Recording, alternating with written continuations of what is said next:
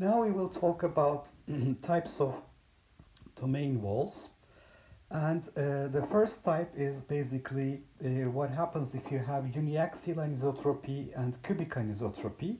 When we have the directions of magnetization pointing anti-parallel to each other in two neighboring domains, the domain wall in between is a 180 degree domain wall and this will happen in the case of uh, uniaxial anisotropy.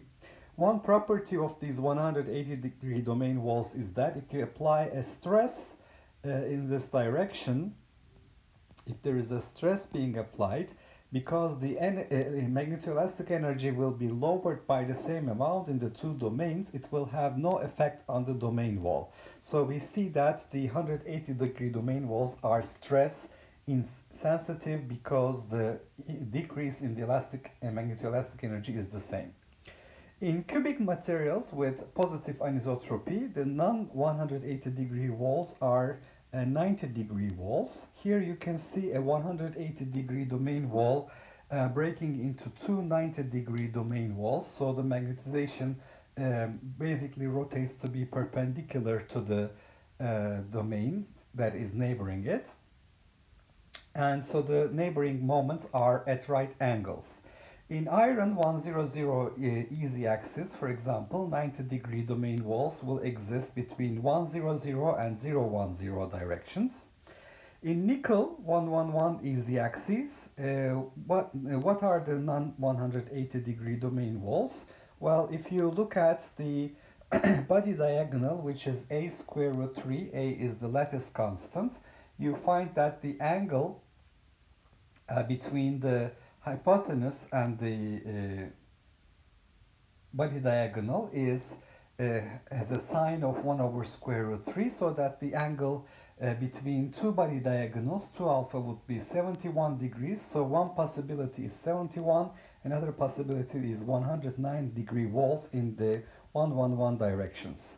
When we have 90 degree uh, domain walls uh, together in uh, cubic materials, 90 degree plus 180 degree domain walls, they usually make these closure domains. And when you zoom into the, the boundaries between uh, these domains, uh, you can see that we have the formation of head-to-head and tail-to-tail domains. So if the arrows are pointing towards each other, it's head-to-head, away from each other, it's tail-to-tail. And uh, here you can see examples of two 90 degree domain walls. One is uh, rotating out of plane and one is rotating in plane. And having said that, we have an important distinction between domain walls in the bulk of uh, magnetic materials and in thin films. In bulk magnetic materials, the magnetization can rotate out of plane. So here you can see it's going into the uh, board and coming out of the board and you can see that, uh, that we have free magnetic poles forming at the surface. So that's a Bloch type wall. Uh, on the other hand, in thin films, we have strong in-plane anisotropy. Therefore, the domain wall has to have its moments lying in the plane of the film. And that's what happens in a Néel pole. Uh, the free poles will appear along the surface of the wall, but not at the sample surface. So uh, we talked about types of domain walls, uniaxial anisotropy 180 degree domain walls, cubic anisotropy 180 degree and 90 degree domain walls.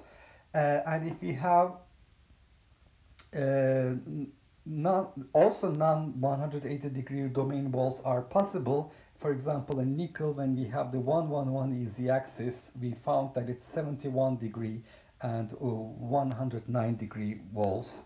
Uh, the Together, 90 degree and 180 degree domain walls form closure domains and head-to-head, tail-to-tail domain wall configurations. In the bulk of magnetic materials, we have Bloch type walls. Magnetization can rotate out of plane. In the thin film case, we have strong in-plane anisotropy and Néel walls. The magnetization has to rotate in plane.